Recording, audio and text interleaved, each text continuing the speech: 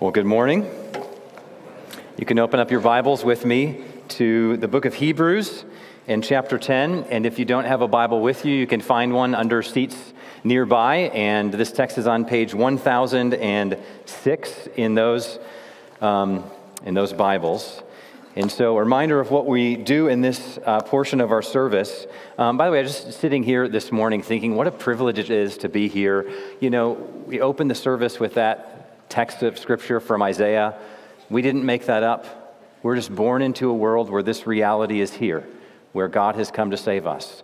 Uh, I didn't write these songs, but get to sing them. Those who wrote the songs were thinking they didn't have, they didn't have to make things up, but these are given realities we get to sing about. And so, with preaching as well, my job is not to make something up to entertain or make us all excited and happy, but to hear God's word because it's already written. And so that's what we're doing here. So we do what's called expositional preaching. So we take the text, we read it, we look to the Lord to change us in light of it as we hear its message. So the point of the text is typically the point of the sermon. So let's uh, pray together because what we're doing in this time is we're engaging with the God who made us.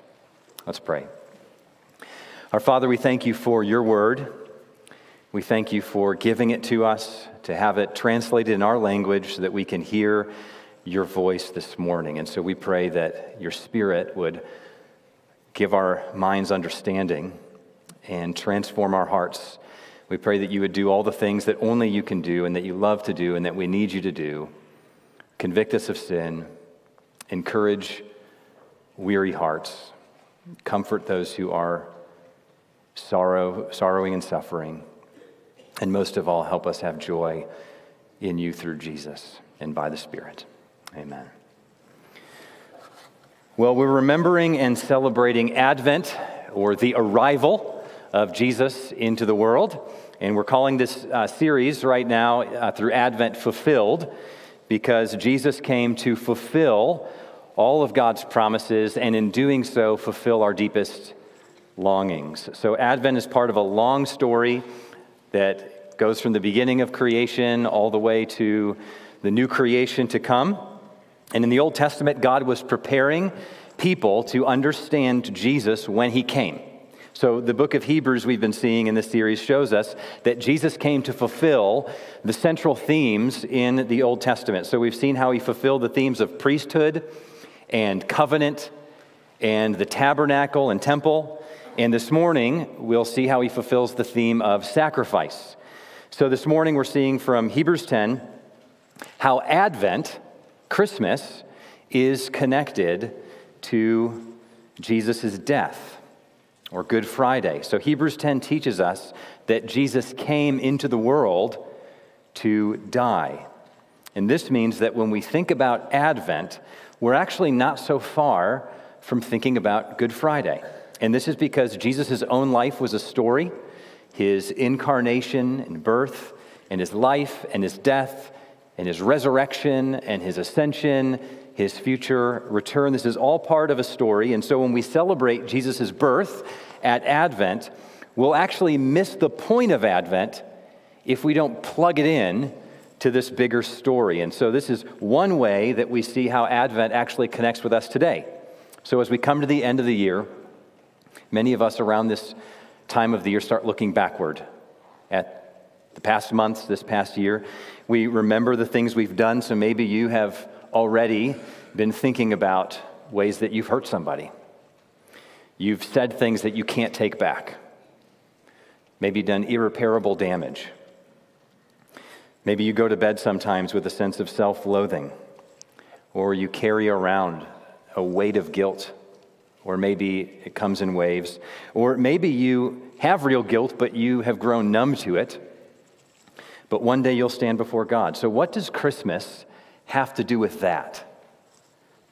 Well, that's what our text will show us this morning. So, Hebrews 10 is here to show us that Jesus came into the world at Advent to deal with our deepest problems. So, my hope this morning is that we would all believe and re believe. For those of you who trust in Jesus, that we would believe afresh this morning in the good news of Advent, and that we would personally engage with Jesus himself as our Savior. So here's the point of the text, and then we'll read it. Jesus came as the final sacrifice to give us full forgiveness. So let's read this together.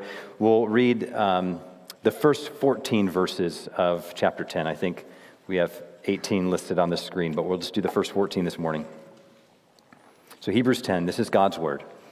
For since the law has but a shadow of the good things to come, instead of the true form of these realities, it can never, by the same sacrifices that are continually offered every year, make perfect those who draw near. Otherwise, would they not have ceased to be offered, since the worshippers, having once been cleansed, would no longer have any consciousness of sins? But in these sacrifices, there is a reminder of sins every year. For it is impossible for the blood of bulls and goats to take away sins.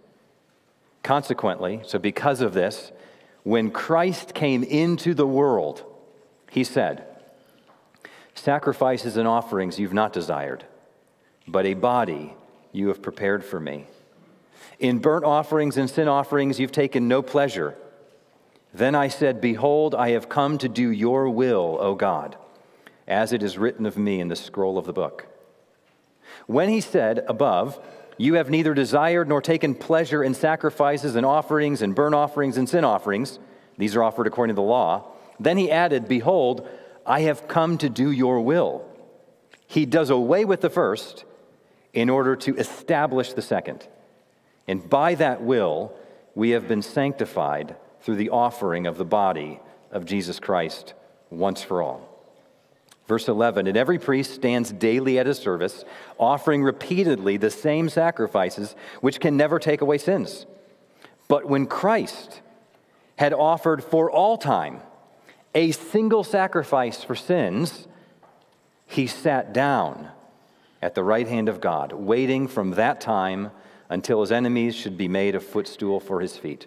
For by a single offering, he has perfected for all time those who are being sanctified.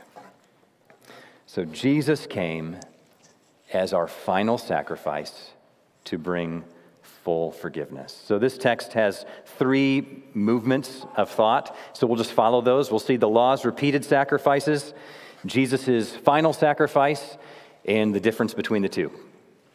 And then from there, the difference for all of us. So, first, the law's repeated sacrifices. Now, remember, Jesus' arrival came in the midst of a story. And it's a story that God was unfolding in history, revealing it to the Jewish people. So, he gave them this whole system of sacrifices to deal with sin. But those sacrifices were never intended to be the final answer. They foreshadowed and they pointed to Jesus. And so the author of the book of Hebrews is bringing this up to make the point that the sacrifices, all of them, any one of them, all of them together were inadequate. And that was God's intention. He was preparing people to understand what Jesus came to do when he finally arrived. So this is verse 1. You can look at it again with me. For since the law has but a shadow of the good things to come, instead of the true form of these realities. It can never, by the same sacrifices that are continually offered every year, make perfect those who draw near. So, how does the Old Testament relate to the New Testament? Like shadows relate to a substance that casts them. So, this is saying if you look, you look at the Old Testament and you are seeing shadows. The substance is Jesus. So, scriptures like this. So, you have an open Bible in front of you, hopefully. Uh, on the right side of that Bible is the New Testament, right? And Jesus is standing up on the right side of the Bible, on your lap there. Um, and he's casting a shadow. So there's a flashlight, picture a flashlight shining on Jesus, casting a shadow on the Old Testament. And what do we see when the shadow of Jesus is cast on the Old Testament? Well, what's interesting is he casts a number of shadows. It's not his body. He casts one shadow, which is a silhouette of a building, a tent, a tabernacle. And then there's another shadow, which is a priest. and another shadow, which is a lamb and a goat offered as a sacrifice, and many more shadows of kings and prophets and so forth. Now, before Jesus came, the people only had the shadows to see. They're looking at the shadows of these things. And they were waiting for Jesus. He's the true tabernacle, the true presence of God. He's the true priest who offered himself as the true sacrifice. So I picture like this. I guess it's a good Sunday for this illustration, although maybe I'm dating myself. Kids, ever watch Tom and Jerry? Okay, ask your parents. Yeah, classic. It's good stuff. Um, so Tom and Jerry, Tom's chasing Jerry, and maybe I'm conflating this with our cartoons. This is kind of a classic storyline that's in a lot of these. So Tom, this cat's chasing this little mouse. Mouse disappears for a while, goes through a hallway. All of a sudden, there's a big shadow in front of Tom. It's like a monster. Big teeth, claws. Tom's freaked out. He wants to give up the chase. And then he kind of looks around the corner and it's just the little mouse, right? There's a shadow being cast, and the little tiny mouse was able to cast a big shadow of this monster that freaked Jerry out. So Jesus is like that, but actually kind of the opposite. Um, he's casting his shadow on the Old Testament, but it's better. It's the real thing because it's Jesus. Now, if you miss this, you'll think that the Old Testament is basically irrelevant today. You'll think that the Old Testament was just about temples and priests and sacrifices. Then Jesus gets rid of all that because it's all kind of outdated. But no, Jesus does end all of that because he fulfills it. It was all teaching about him, and therefore it still teaches about him. Jesus is the main point of history. And so God, ahead of time, had Christ cast his shadow on the Old Testament, backward in history. And part of that shadow is what we're looking at this morning, which is the sacrificial system. And I love how the author refers to what Jesus has brought. He's foreshadowing the good things to come that have come now. So, what are the good things that Jesus brings? My boys sometimes make Christmas lists of things that they would like to get. And they sometimes haven't just written words, but they'll draw little pictures. And those pictures are nice, right? But if I just gave them the picture of that, that wouldn't be fulfilling. It's just a picture of a good thing to come that they hope is to come, right? It's a sketch. So Jesus is the good thing to come, and he brings the good things to come. So, what are those good things? Well, the point of this text is that he brings the final sacrifice that can cleanse us from sin. Notice in verse 1 again what the sacrifices couldn't do. They couldn't make perfect those who draw near. So, perfection here is about having sins removed. The sacrifices were pictures of that. The person would take an unblemished animal, depending on the offering, and press their hand down on the head of that animal. It's a way of identifying with that animal. It's going to take that person's place and transferring their sins to that animal. And then that unblemished animal would be sacrificed for their sins. Or on the Day of Atonement, one would be sent far away, carrying the sins away. So the perfect animal received sins, took the punishment that we deserve of death and banishment from God's presence. And so the imperfect person then is viewed as perfected. And the author is saying that was all a shadow. Didn't really work in and of itself. It didn't actually remove sins. How do we know? Verses 2 to 4 show his argument. Otherwise, he says, would they not have ceased to be offered? Since the worshippers, having once been cleansed, would no longer have any consciousness of sins?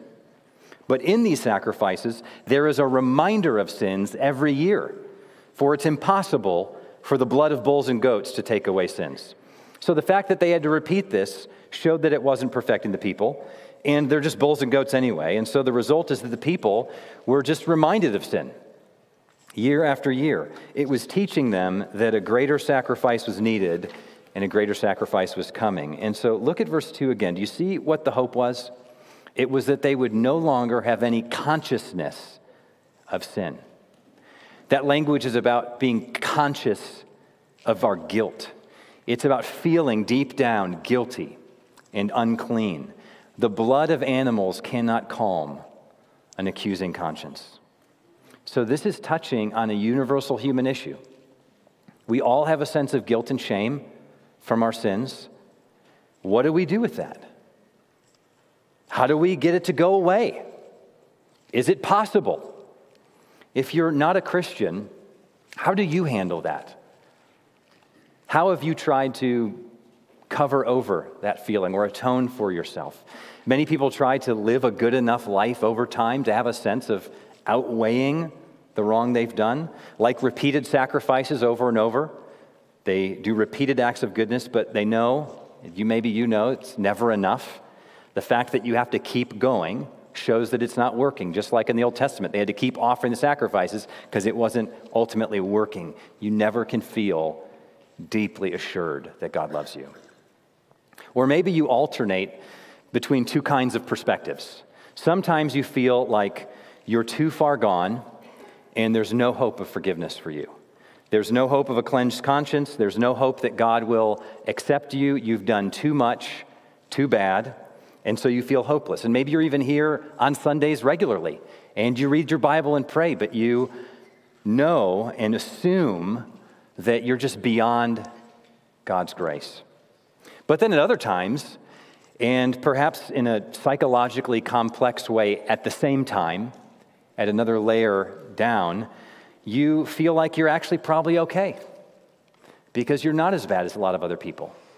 You watch the news, you see how bad people can be, you're not making the headlines, and so you figure that you're okay.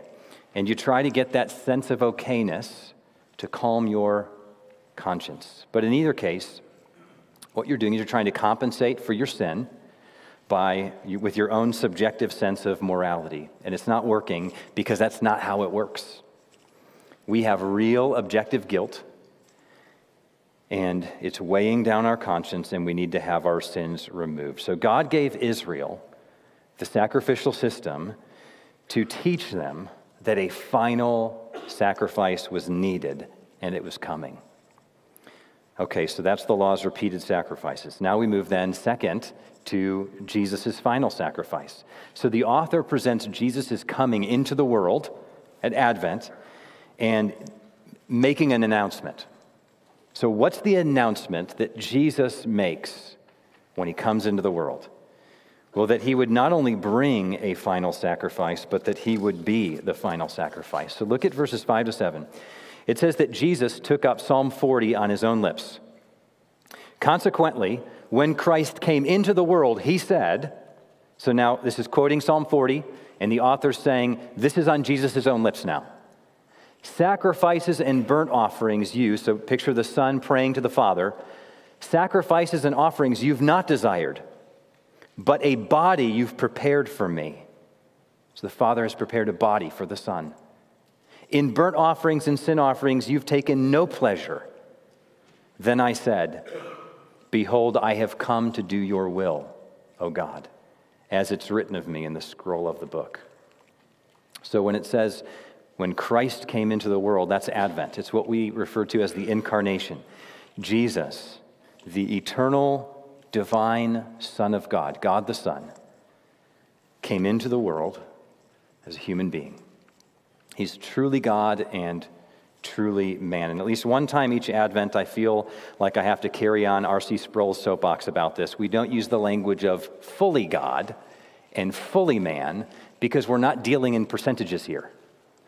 Right? It's not like, well, he's not 50 50, it's not 70 30, it's not 100 0, it's 100 100. It's, he's truly God, truly man. Christ came into the world, the eternal Son of God truly God, truly man. And he came into the world with a mission to accomplish that he announced. And he announced it with the words of Psalm 40. Jesus came as the one true, final sacrifice. And the result of that sacrifice is that those who trust him, right, like those people in the Testament who put their hand on the animal, those who trust him, we, we, as it were, put our hand toward the cross, recognizing He is our offering. We're fully and finally, decisively forgiven. Our sins are removed. That's why Advent happened. So when we think about Christ coming into the world, the nativity scenes, and the little baby Jesus, We remember that he came as a child, but Christmas can drift into sentimental religiosity if we unplug it from this bigger story. Jesus came to be the final sacrifice. So we've seen the law's repeated sacrifice, sacrifices and Jesus' final sacrifice. Now, third, the difference between the two. And that's what the author summarizes in verses 11 to 14. Several contrasts. So look first in verse 11 what the previous sacrifices were like. And every priest stands daily at his service. So the priests are standing there every day doing their thing, offering repeatedly over and over and over the same sacrifices, which can never take away sins. Now look at the contrast with Jesus' final sacrifice in verses 12 to 14. But when Christ had offered for all time a single sacrifice for sins, he didn't keep standing to keep offering this. What did he do?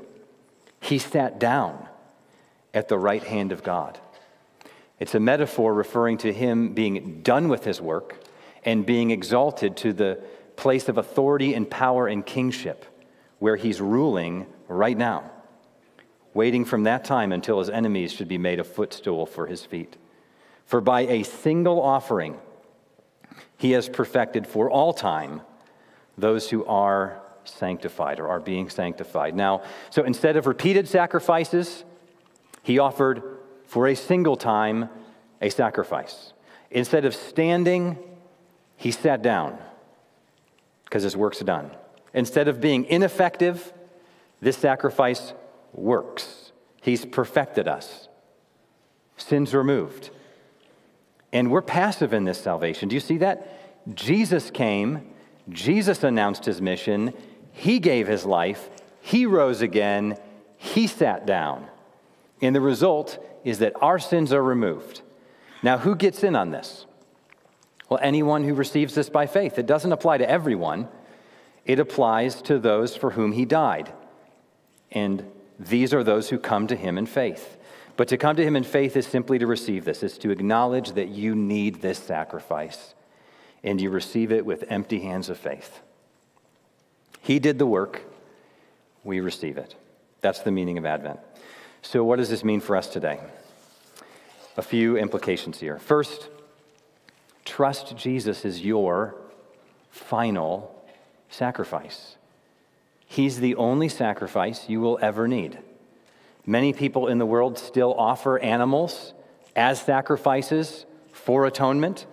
Interesting enough, the Jewish people stopped offering animal sacrifices when the temple was destroyed, and now they offer prayer as a kind of sacrifice. Secular people also have their sacrifices. We all feel the need for atonement and cleansing, and so we attach ourselves to a cause.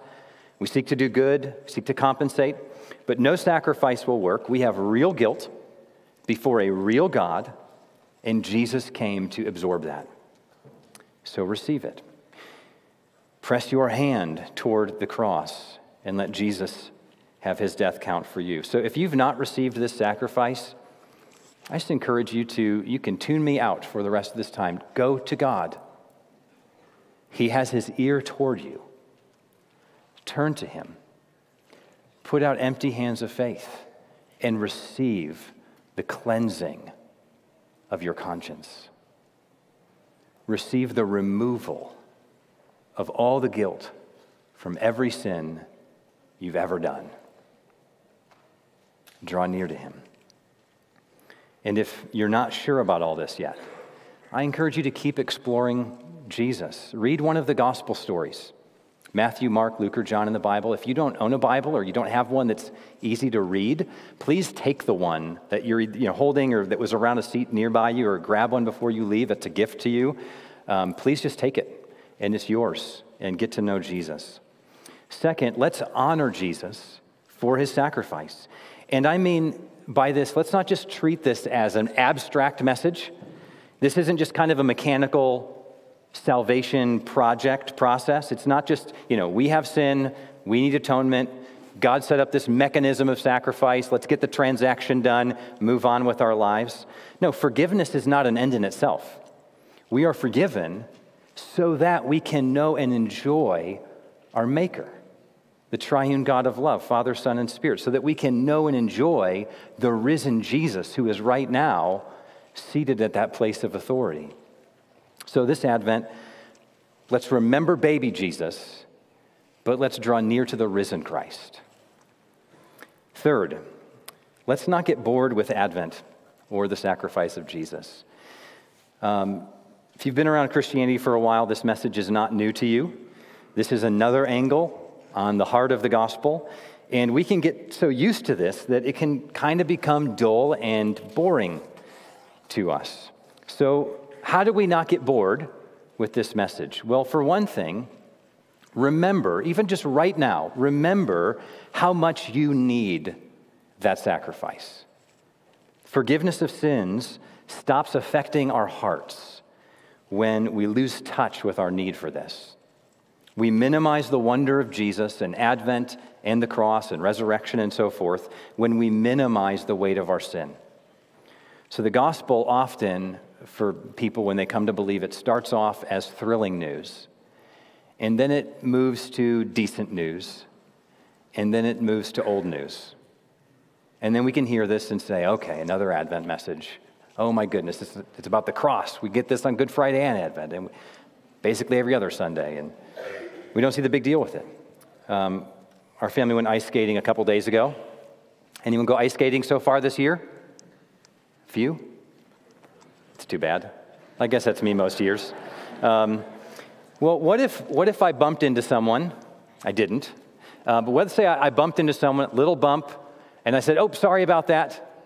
Um, and they didn't get knocked over anything. It was like a nudge, right? But I'm like, I'll be nice. I'm apologizing. And they say, with great sincerity, weight of the moment, I forgive you.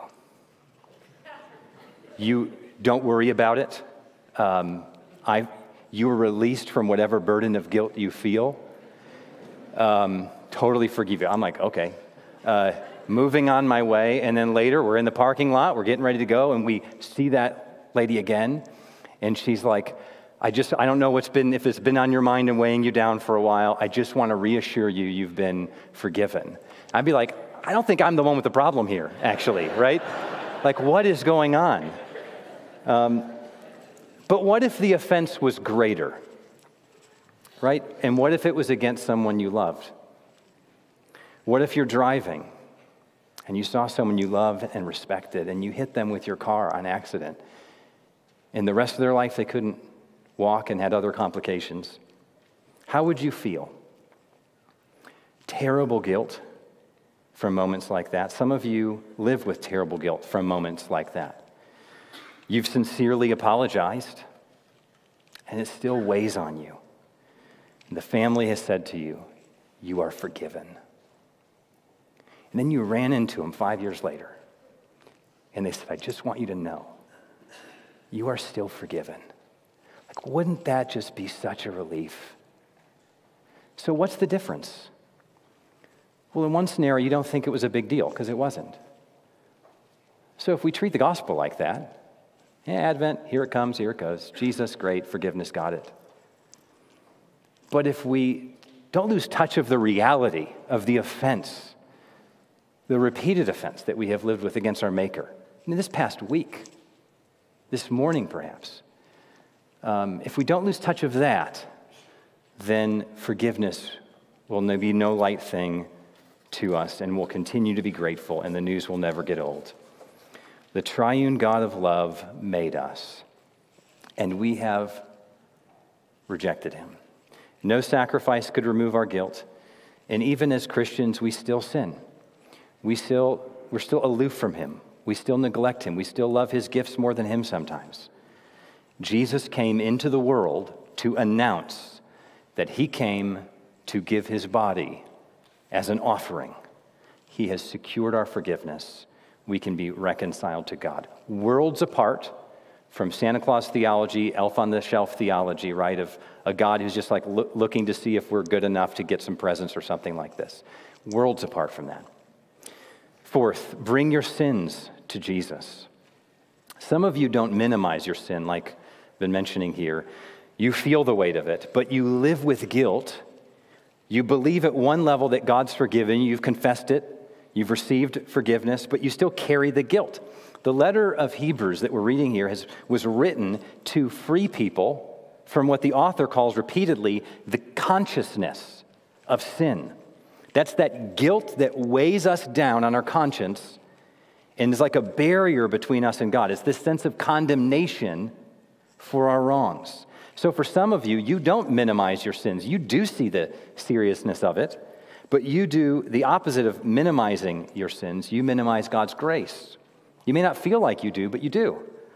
You don't really believe deep down God's word when He says you are forgiven and the sacrifice of Jesus was enough. So, some of you maybe have had a season of great immorality in your past, or after 30 years of being a Christian, you've still landed in the same mess of your own sin, or you've done one act that really damaged relationships that you can't undo, and now you beat yourself up over it. You feel condemned, your conscience accuses you. You think that God's basically steady state disappointed with you. So, what do you need? Well, you may need to see the weight of your sin, but you need to see the wonder of Jesus' sacrifice afresh. Charles Spurgeon, the 19th century pastor, wrote a devotional book called Evening by Evening. Christine and I have different seasons of life read the evening devotions um, before bed. And here's what he said in one of those um, that I remember writing down, I've gone back to a lot over the time. He said this You may look, study, and weigh, but Jesus is a greater Savior than you think him to be when your thoughts are at their greatest. My Lord is more ready to pardon than you are to sin, more able to forgive than you are to transgress. That's Jesus. He was a willing sacrifice. I mean, that announcement, a body you've prepared for me, what a weighty, serious thing, but he did it, Hebrews said, for the joy set before him. That joy includes you being thrilled to receive a cleansed conscience from him, and for you living in his love and knowing that you are welcome in his heart and in his home. So, what do you do when your conscience accuses you then? You don't say, well, that's clearly just God wanting me to feel lousy for the rest of my life for this. No, you talk to your soul, you preach to your conscience, you get the gospel into it, you get your feelings in line with reality as God says it is. So, what happens when your conscience keeps accusing you of sins you've already confessed to God? Now, if it's accusing you of sins you've not confessed, take those to God, repent, confess, receive fresh forgiveness. But what about when you've already done that? So, your conscience accuses you, and you say, What of it? And then your conscience says, You sinned. like, so what? Not that it's not a big deal, but it's dealt with. I don't, I don't need to feel bad about this anymore. Jesus died for me, He forgave me. I don't need to be burdened by your accusations all the time anymore. Then your conscience says, But you deserve to be condemned. You're enjoying Jesus too much here. And you say, Jesus was condemned for me. He's my final sacrifice. And you move on. You go ice skating or something. Finally, who needs to hear this good news? This is a message, and I'm asking that for you to ask. Who in your life needs to hear this good news? There are so many people in your life and mine who do not know this. Maybe they've actually grew up in church, they've been to church, they think they know this, they think they've heard this, but they either haven't heard it or it's not dropped in. They don't really know this. So don't write off people who maybe have experienced Christianity and kind of rejected it. Engage with conversations about who they think the real Jesus is, what they think Advent is and Christmas are really about. Because you'll find that the Jesus they're rejecting, you probably reject too. Because the Jesus they have in their mind isn't this one, isn't this one that liberates our consciences so that we're restored to Him. So just end, end with this question Who's one person, maybe they've already come to your mind, one person in your life who needs to hear this message before the end of the year? Pray for that person. And what's one step you can take to help get that message to them? And pray the Lord would do what only He can do. Let's pray.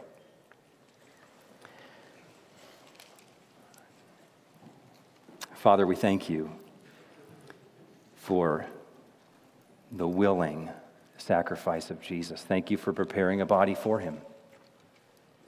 Lord Jesus, we thank you for coming and announcing your willing sacrifice for us. You didn't have to do this, but you have a, a love that's greater than we can imagine. And Holy Spirit, thank you for opening our eyes and hearts to understand and receive this. So, Father, we pray now that you would fill us with all joy and hope in believing. Fill our hearts with joy as we sing now about the gospel and to you. And we pray that as this room is filled with people that are thinking of one person who needs to hear this message, we pray that you would surprise us this next week by bringing people to yourself or closer to yourself. Pray this in Jesus' name. Amen.